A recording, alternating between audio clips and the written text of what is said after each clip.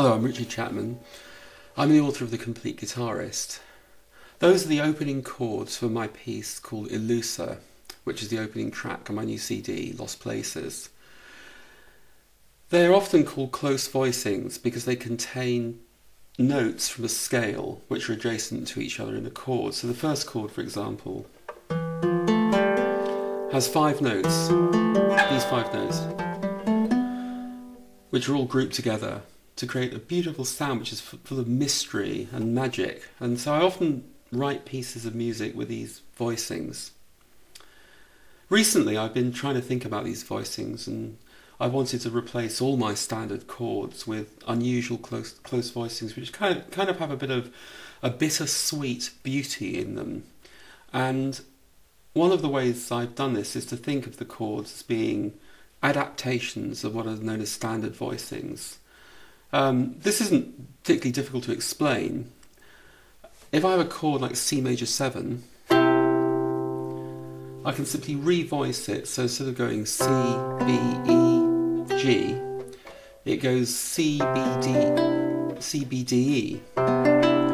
becomes a C major 9. But the interesting thing for me is to turn that into a scale with chords, and it creates some really fantastically interesting, beautiful sounds and harmonies. First of all, we have D minor 9, and then an E Phrygian chord.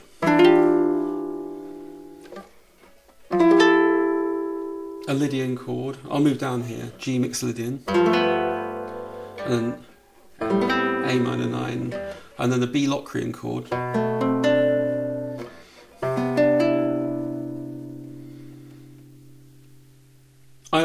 Often use these chords in progressions, and I use them if I'm trying to think of standard harmony. And they can create some beautiful effects. For example, this B chord here, I sometimes put a G in the top. I use that in a few of my tunes, or I can use it in, in a progression to go to an A chord like this.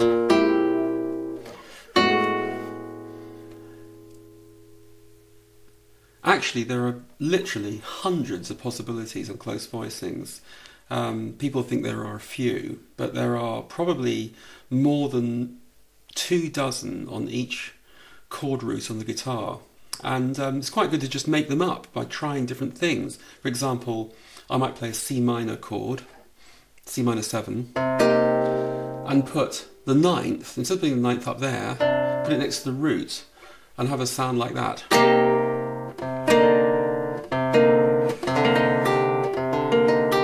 I can use the, the chord up there, dropping the top note off. I love sixth, sixth and seventh together as well. For example, you have a C six seven, and I might play a D minor chord with a sixth and seventh, so D six, D minor six seven. And again, you can create chords like that. It's quite nice to play chords in a progression, and the cycle of fourths is great actually for chords. Um, I could start with, say, this chord, which is just a chord I played earlier, but with the top note, an A, a sort of 13th or 6th in the upper register. Move that across to an F6-7, and then keep the whole progression going through a cycle of fourths, B flat,